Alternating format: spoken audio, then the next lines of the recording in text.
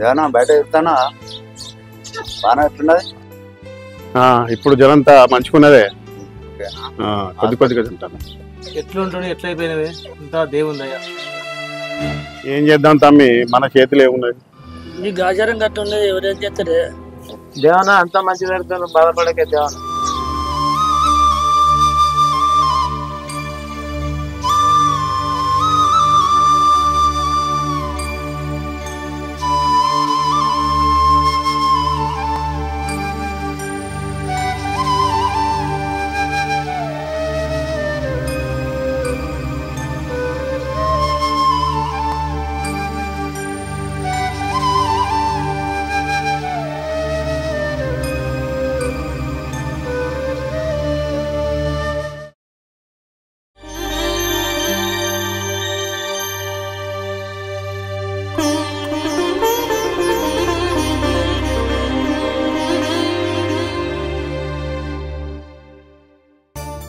నాలుగైదేళ్ళు అవుతుంది మా బావింటికి రాక. ఇల్లు కూడా ఎక్కడుందో మర్చిపోయినా. ఎవరు నన్ను అడుగుదాం పారా? ఊరు కూడా బాగా మారిపోయింది. ఇండ్లు పోయి బిల్డింగ్లు వచ్చినాయి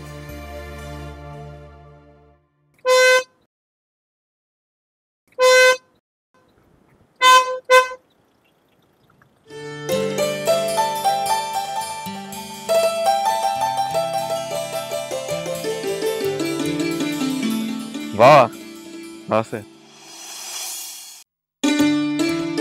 అరే రాము నువ్వారా నమస్తే బావా. నమస్తేరా ఏమైంది బావా? పురతగా గిట్లా నువ్వు. ఏం చేద్దాంరా అదృష్టం అటం తిరిగింది. కాళ్ళు చేతులు వంకర తిరిగినాయి. పెరాలసిస్ వచ్చిందా బావా? అవును వచ్చింది. బాధను కూడా నవ్వుకుంటూ చెప్తున్నావా బావా? బాధ పడి పడి పడి యాస్ట్ వచ్చిందో ఇక బాధపడు బంద్ చేసి నవ్వుడు నేర్చుకుంటాను.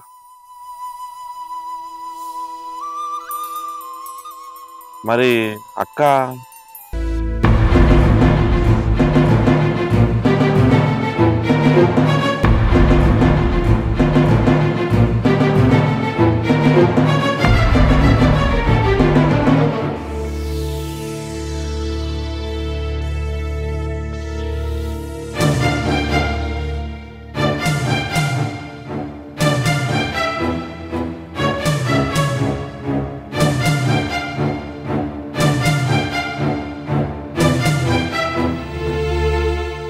ఒక రకంగా అది నా లైఫ్లో నుంచి వెళ్ళిపోవడం నాకు మంచే జరిగింది అనుకో అన్నది. కాలు చేతులు పడిపోయిన భర్తతో తన జీవితం బాగుండదని చెప్పి తన జీవితంలో ఆనందం వెతుక్కోవడానికి వెళ్ళిపోయింది అవి అప్పుడు వచ్చింది తను నా జీవితంలోకి. పక్షపాతం వచ్చి మంచంలో పడ్డ నన్ను పసిబిడ్డ లెక్క చూసుకుంటుంది. జీవితంలో ఒకటి పోతే ఇంకొకటి వస్తుంది అంటారు కదా. అట్లాగే నన్ను కాదనుకొని పోయిన దాని ప్లేస్లో నేను కావాలనుకున్న ఆమె ఇంకో ఆమె వచ్చింది. నేను హ్యాపీగా ఉన్నాను.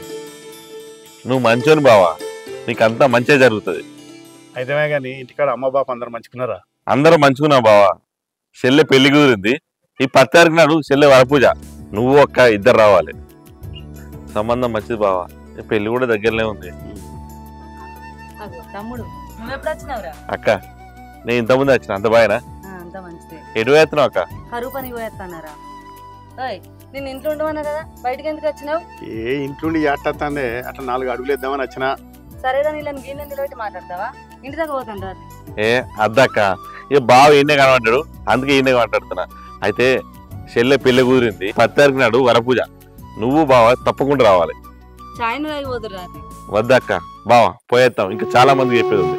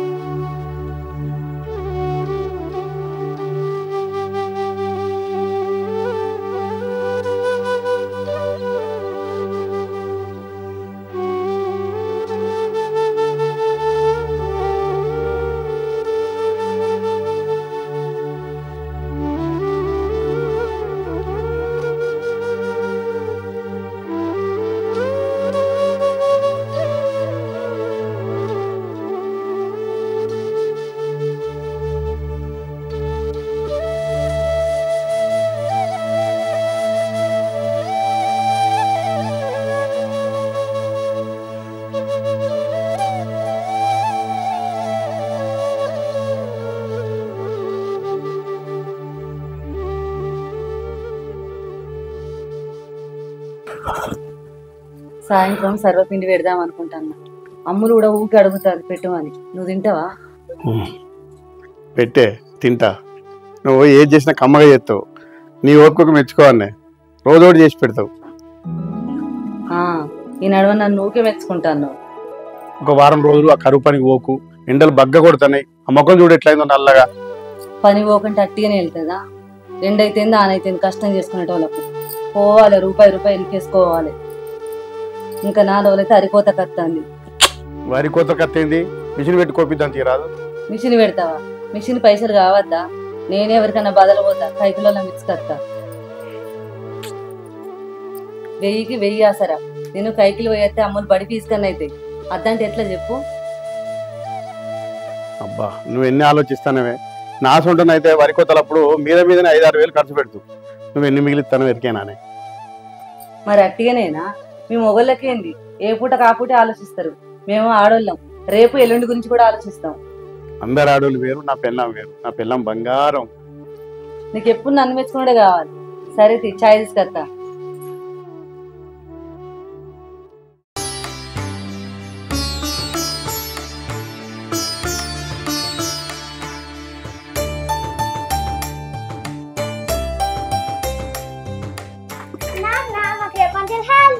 అవునారా బంగారం? ఇగో నీకు సమ్మరాల డేస్లా సైకిల్ కొనిస్తా మంచిగా దొక్కుందు ఇగో అయితమే కానీ పోయి కాలు కట్టుకోసుకో అన్నం.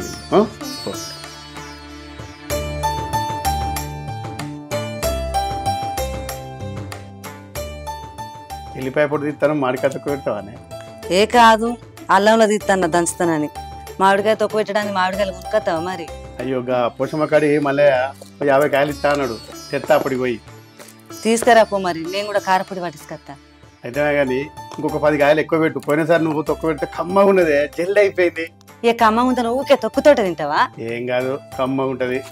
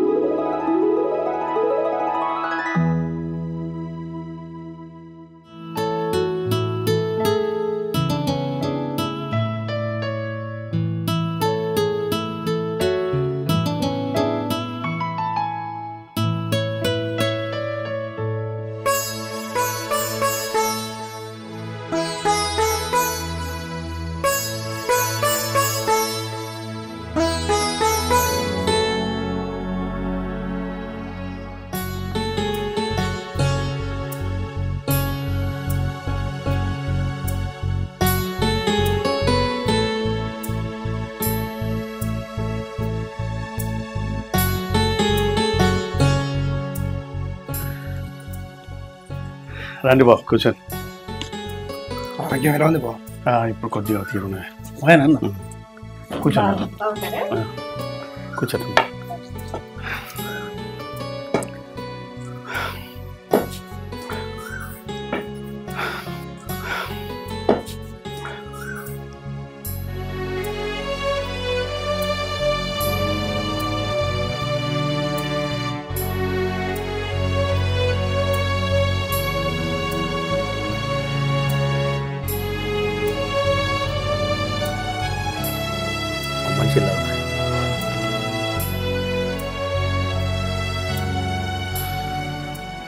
ఆరోగ్యం ఎట్లుంది బావ?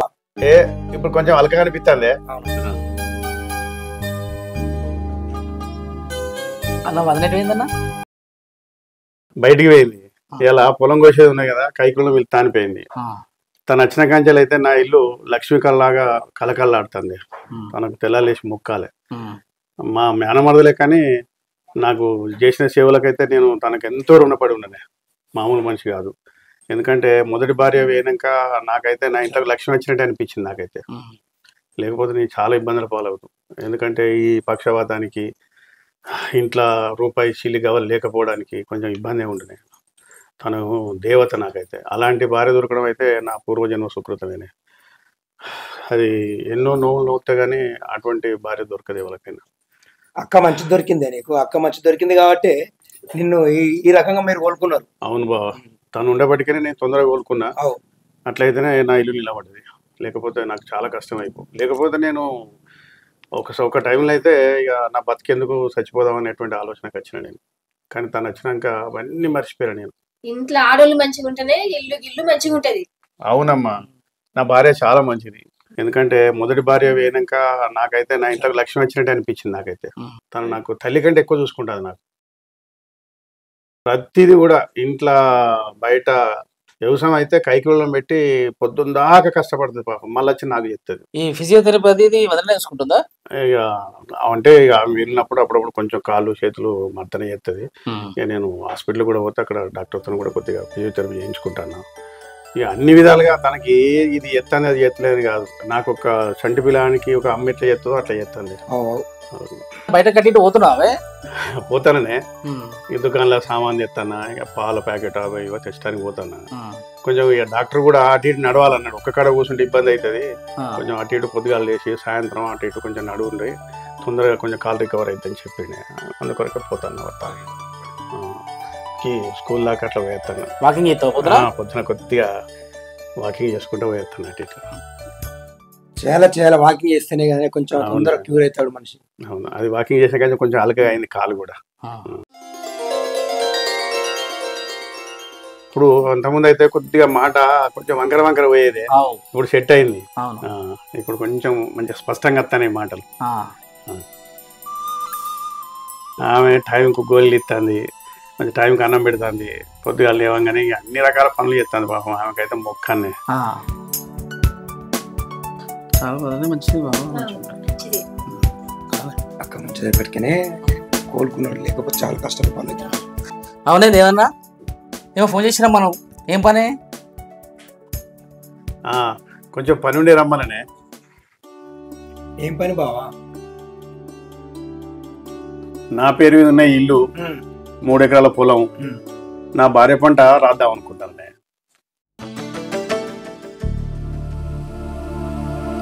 ఏం మాట్లాడుతున్నావు అన్న? అవు తమ్ముడు. కాలు చేతులు లేనోని ఒక పసిపిల్లగా లెక్క చూసుకున్నది నా భార్య. ఇక ఆమె కాకపోతే ఈ ఆస్తి వాళ్ళకి ఇవ్వాలి చెప్పు. నిజమే బావా. ఉన్నదంతా ఏమో పేరే రాస్తున్నావు. రేపు ఈమె కూడా ఆమెలకి ఎత్తే ఎట్లా ఆమె కూడా నా మొదటి పిల్లలు లెక్క చేసేది అయితే ఆమె అసలు ఇక్కడికి వచ్చేదే కాదు. ఇవాళ రేపు అన్ని మంచుకున్నోని రెండో పెళ్ళి చేసుకోవడానికి వెనక ముందు ఆలోచిస్తాను. అటువంటిది నా కాలు చేతులు పడిపోయినా కూడా నాకు సేవలు చేయడానికి నాకు భార్యగా వచ్చింది. సేవలు చేస్తాను. అటువంటి దానికి కాకపోతే ఇంకెవరికి చేయాలి ఆస్తి? నువ్వు చెప్పేది నిజమే బావా. కాకపోతే ఇవాళ రేపు ఎవరిని నమ్మతట్టు లేదు కదా. ఇక ఆలోచించడానికి ఏం లేదమ్మా. తమ్ముడు పట్ట చేపిస్తా సరే నీ ఇష్టమే.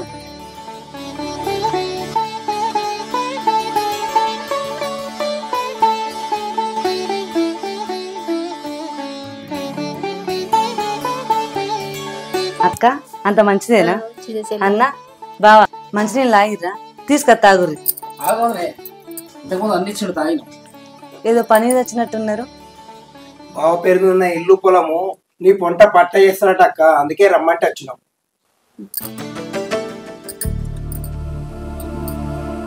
ఎందుకు? ఏమో అన్ననే అడుగు. ఎందుకు బావా ఇప్పుడు అవన్నీ? అట్లా కాదు రూప. మరి ఇంకెట్లా? నువ్వు నా మీద చూపిస్తున్న ప్రేమకు నేను ఇంతకంటే ఎక్కువ నీకేం చేయగలను చెప్పు. అంటే ఏంది బావా? నేను నీ ఆస్తి పాస్తుల కోసమే వచ్చింది అనుకుంటానవా? వాటి కోసం నీ కూడిగా చెప్తాను అనుకుంటానవా? అట్లా కాదు రూప. ఒక్కసారి నా మాటిను ఇప్పుడు నీ పేరు మీద ఉన్న ఆస్తి అంతా నా పేరు మీద రాయించుకుంటే ఊరోళ్ళంతా ఏమనుకుంటారు? కాలరెక్కలు లేడానికి మాయమాటలు చెప్పి రాయించుకుంది అనుకోరా? చిన్నప్పటి నుండి నువ్వంటే నాకు చాలా ఇష్టం. కానీ నువ్వు నన్ను కాదని వేరే పెళ్ళి చేసుకున్నావు. నువ్వు కాదన్నావు నేను ఇష్టం లేని పెళ్ళి చేసుకున్నా. నా అదృష్టం మంచిగా లేక బిడ్డ పుట్టిన ఏడాదికే ఆయన చచ్చిపోయిండు.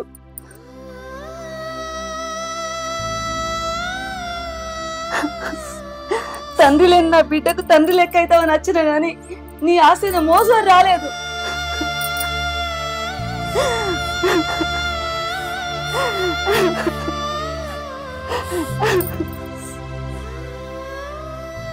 అట్లా కాదు రూప.